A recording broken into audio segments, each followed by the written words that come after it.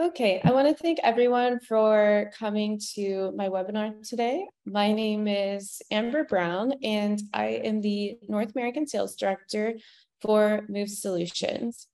And today, um, this has been a very highly requested webinar, is preventing bridge failure with remote monitoring. So this is a webinar I've been very excited about. A lot of people have been requesting it.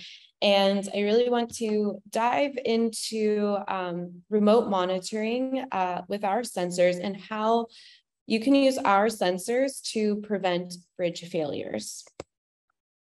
So who is Move Solutions? I know a lot of you guys have been to my last webinar, but I really just want to touch briefly on who we are and what we do. So Move Solutions designs solutions for monitoring any type of civil infrastructure. So today we will be speaking about bridges, but we are involved in all sorts of civil infrastructure, bridges, buildings, uh, railways, dams, um, mining. So we are not just on bridges, but we are on all sorts of infrastructure.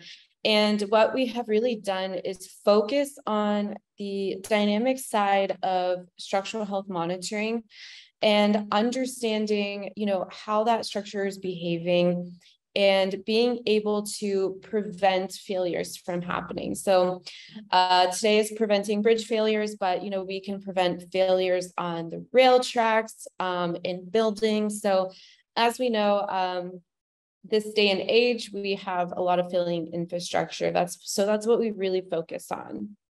Um, I really want to talk about the potential of smart structural health monitoring. So, the world we live in today, uh, everything is becoming smart. So, we have smart cars, we have cars that are driving themselves, we have smart thermostats. Every day when I leave the house, my thermostat resets the temperature so that I can save energy and money.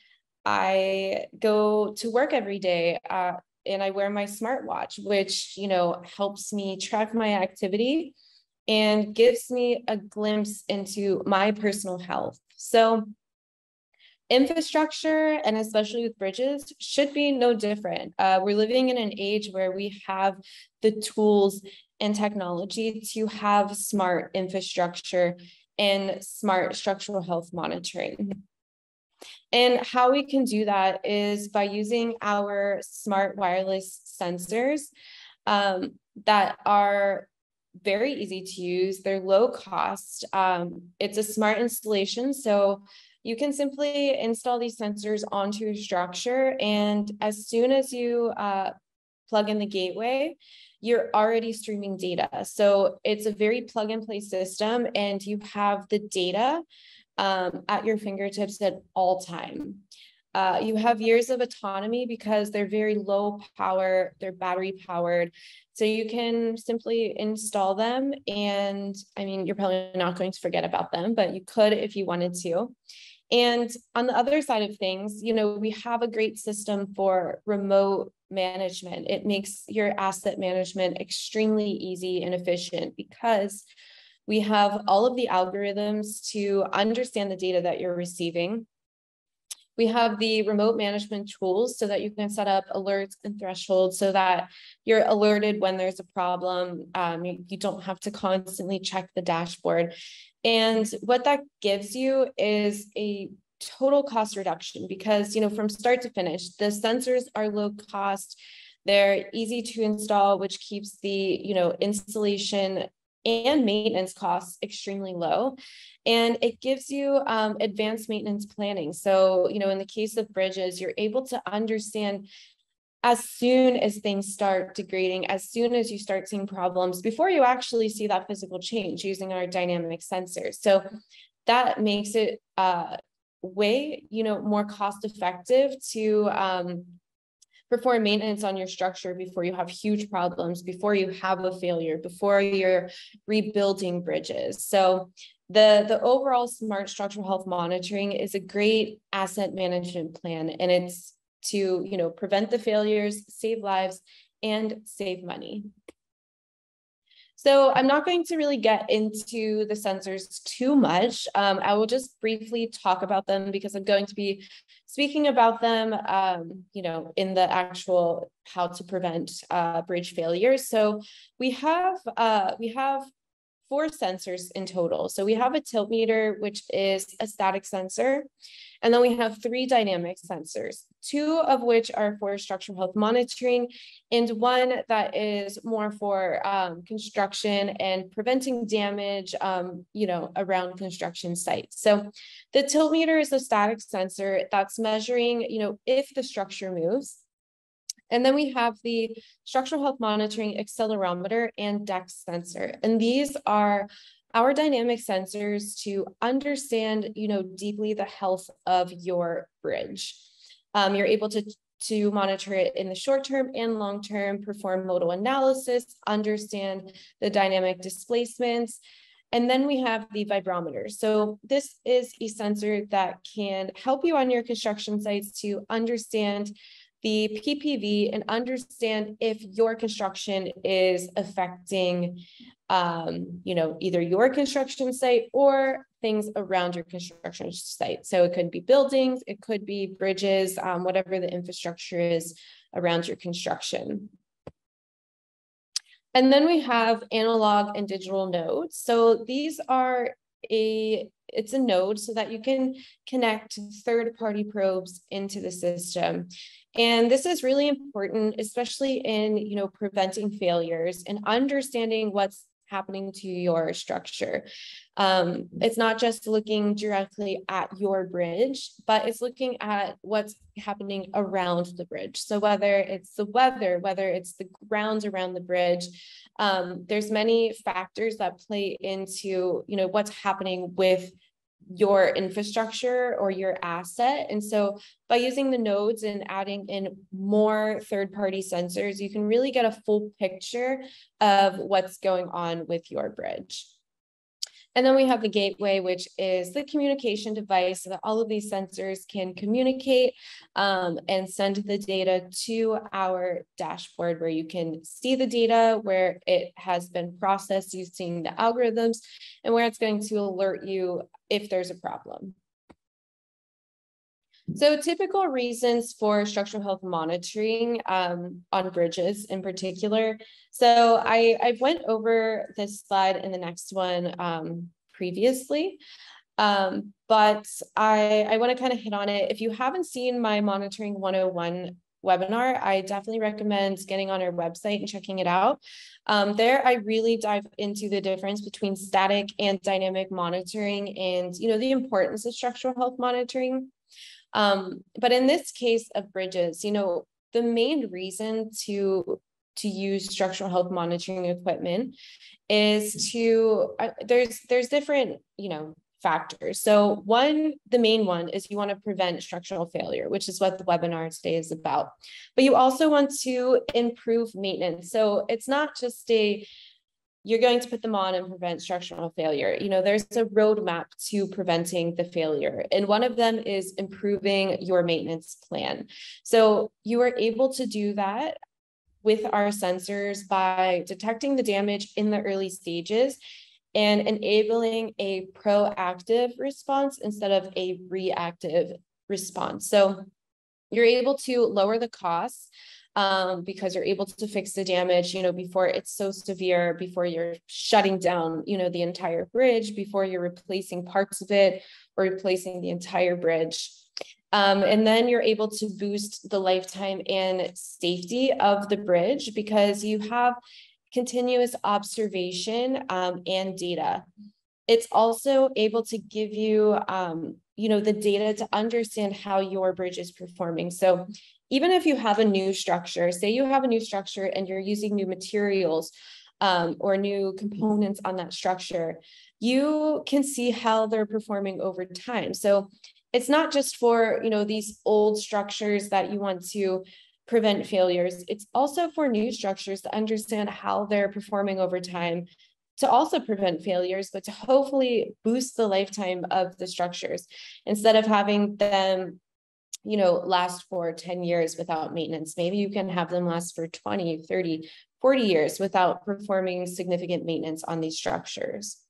And lastly, you know, the, the most important part is to, you know, prevent critical situations with breakdowns, with failures, and save lives, save money, um, and yeah, reduce the over, overall cost. So there's two types of monitoring uh, that we focus on and, you know, pretty much all of our customers focus on, you know, with their asset management. And that's the short-term monitoring, which is the real-time monitoring and the long-term monitoring. So the difference between the two is the short-term real-time monitoring is understanding the, the right now and setting up the alerts and thresholds that you typically set up so that you can get alerted if there's a problem, if there's a movement, if you're seeing changes in that structure, getting an alert so that you can immediately check things out, do an inspection, send people on site, shut down the traffic. And then we have the long-term monitoring. So this is the statistical analysis using things like modal analysis and trend studies to understand if that structure is slowly changing over time and understanding, you know, if if and why it's changing over time and trying to prevent um, changes in the structure that you would pick up on, say, a total station. So the long-term monitoring is really taking a deeper look into that structure and understanding these parameters that are changing before you have that that physical change that you would pick up on, you know, that short-term uh, monitoring where you're getting alerts. So getting into the remote bridge monitoring and how to prevent the failures. Um, so as we know, we have everyday bridges, viaducts, they are stressed by different loads. Um, the, the structures are made from different materials, they're in different environments. Um, and as they age, there are certain parameters that are critical to monitor to ensure, you know, the safety of that structure. So the fundamental parameters to, mo to monitor and you know, what we monitor for are the dynamic parameters. And this is what we're very focused on at Move Solutions, which are the dynamic displacements, the accelerations, and then also the static parameters, which are the inclinations and static displacements, the modal parameters, such as the frequencies, shapes, and damping of the structure, and then the environmental parameters, so the air temperature, uh, the humidity, the wind, and the geotechnical parameters. So the settlements, the groundwater. Um, so we're really focused on the structure itself in the static and dynamic sense, and the environmental and geotechnical. So what's happening under the structure, what's happening around the structure. And we, the, the sensors that we use that I briefly talked about earlier are the Deck sensor, which is a patented technology by Move Solutions. This is understanding the dynamic displacement and understanding how that dynamic displacement changes over time and using that data to understand if something is happening in that structure that you can't visually see. You can't pick up on a visual inspection. And then we use the accelerometers. So our structural health monitoring accelerometers, which is the only synchronized wireless accelerometer on the market. And what we can do with this is perform the modal analysis to understand the structure in the long term as well. And then we have a tilt meter to understand if the structure is moving and how much it is permanently moving. And then we have all of those third-party probes that I mentioned, such, such as the strain gauges, crack meters, temperature sensors, that can be connected with the analog or digital node. So as you, I'm sure everyone on this webinar is aware, there are many different types of bridges. And we, this is just some of them, um, but we, we try to focus on having a solution for every type of bridge because with different types of bridges, as you can see, there are different types of problems. So on the left picture, you can see, you know, there are cracks forming in the concrete. The center picture is showing you a bridge that collapsed from bridge scour. On the right, it's the bridge that collapsed in Pittsburgh just from poor, poor maintenance. The bridge was so degraded that it just simply gave out one day. And with all of the different types of problems, we have the different types of monitoring. Um, every bridge is different, and we are very solution focused at Move Solutions, where we want to give you the tools and solutions to really take a look at every different type of bridge. We don't have a one size fits all solution. Um, we really try to customize it, you know, based on your problems the bridge that you have, um, we try to give you the solutions for.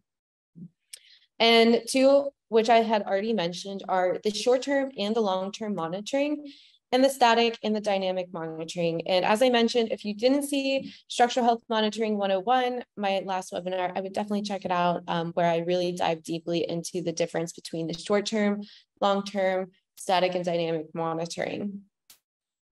So to show you, I really wanted to show you guys um, the setups that we have for bridges. So we have two setups where it's the basic and full setup.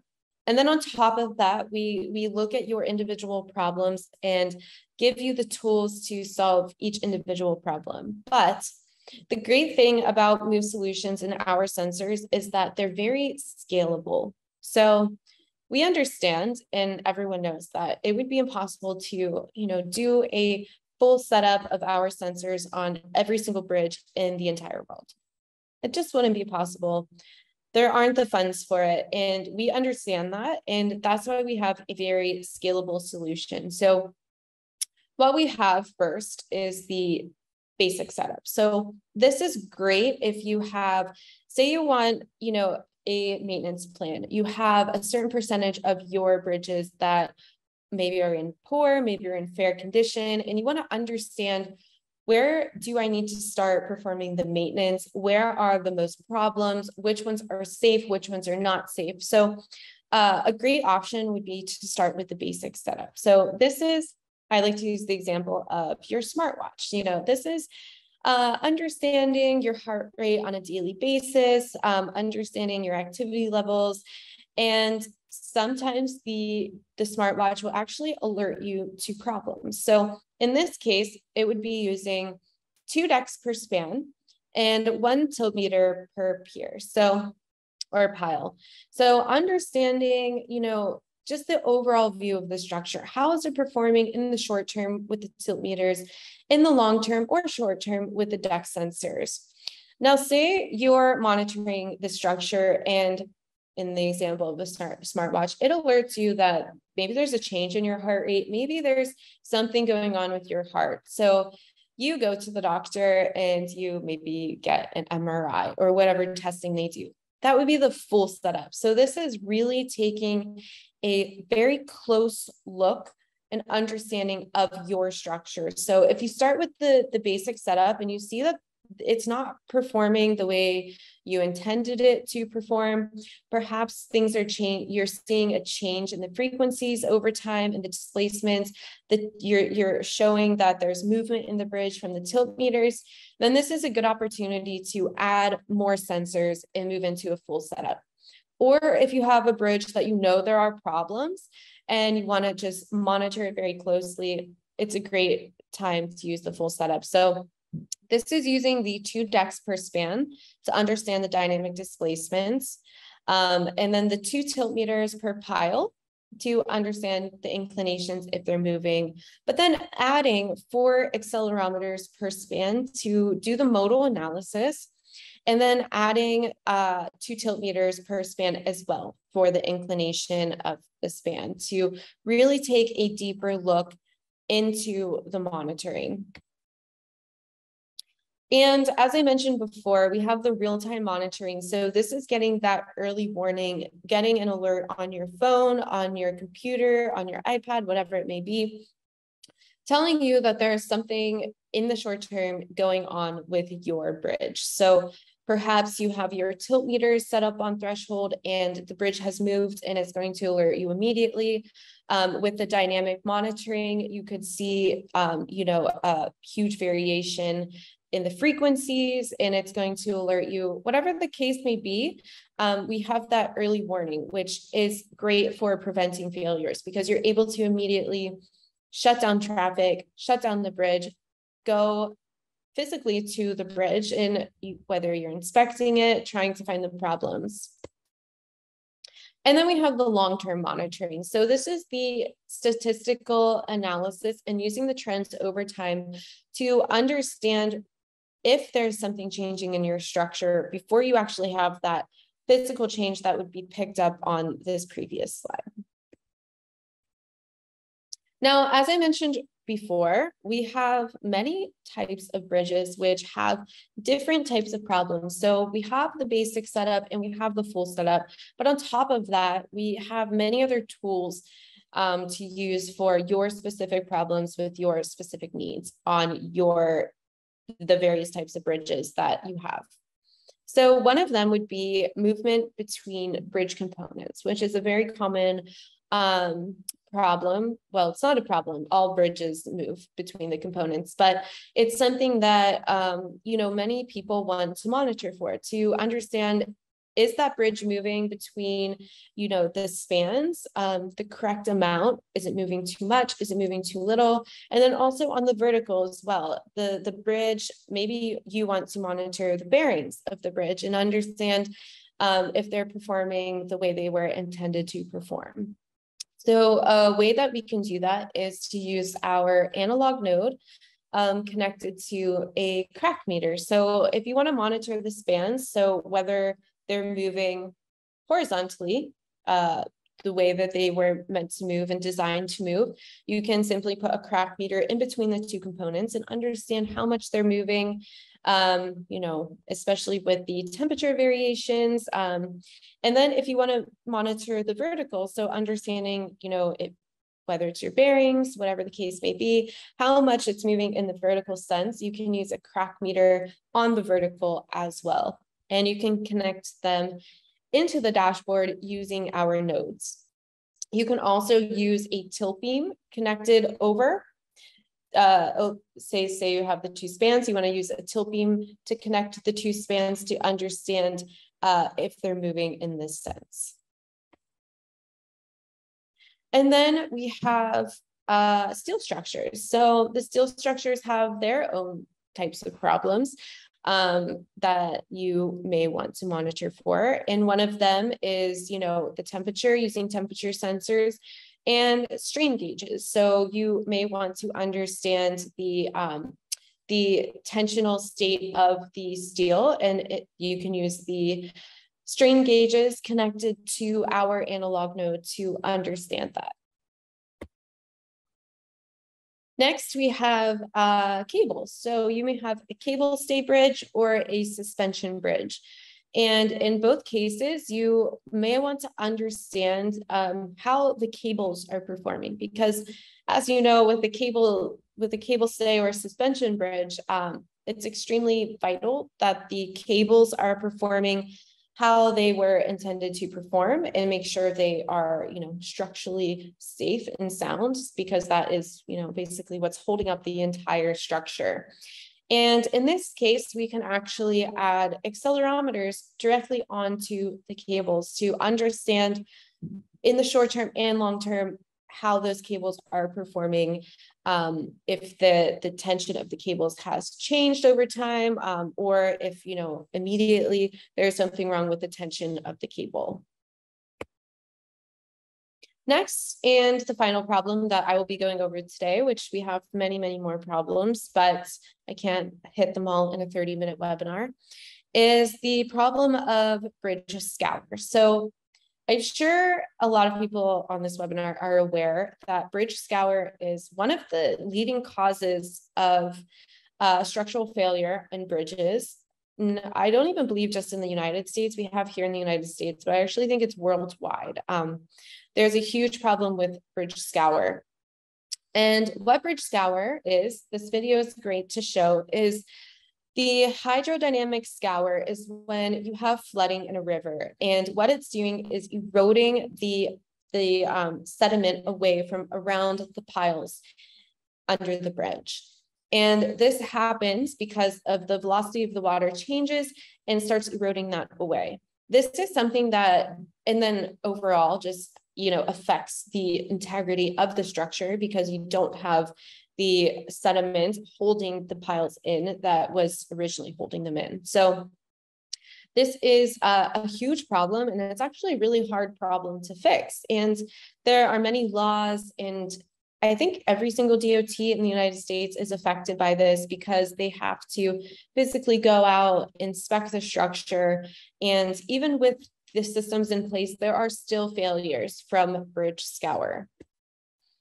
So as you can see, this is kind of showing you up from above uh, what it looks like when you have these floods and the velocity of the water changes and starts eroding that riverbed away.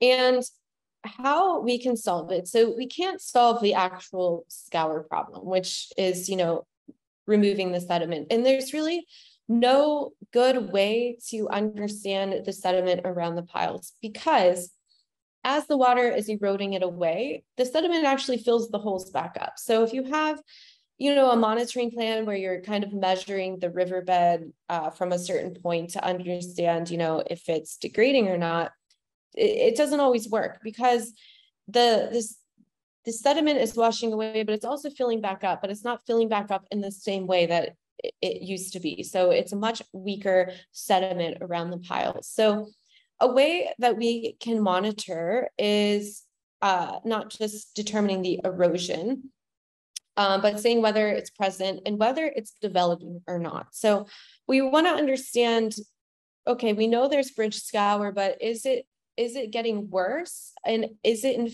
is it affecting the integrity of the structure? And how we can do that is by monitoring the structure itself and the piles. So on the deck, you would want to install the, at, a minimum of four accelerometers to monitor the frequencies and torsional shapes and understand the modal analysis of the structure.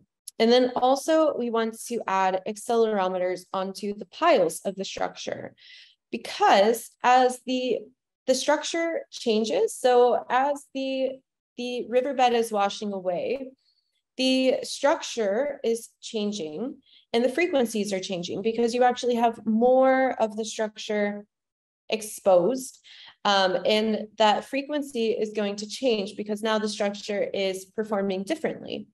So by using the accelerometers and the modal analysis on both the spans and the piles and adding in our tilt meters to understand if it's physically moving, our deck sensors to understand the dynamic displacement, we can do an overall view of understanding if that scour is uh, increasing, if that structural integrity is starting to change on the structure. And that is actually all the time that I have today. Um, I want to thank you guys so much for attending the webinar.